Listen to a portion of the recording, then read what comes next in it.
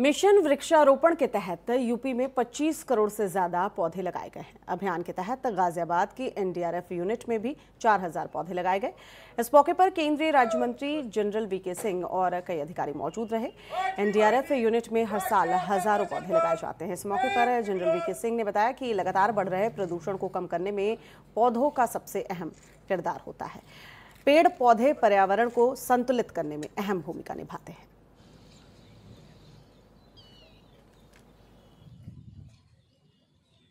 क्योंकि यही उम्मीद यूनिफॉर्म फोर्स से की जाती है।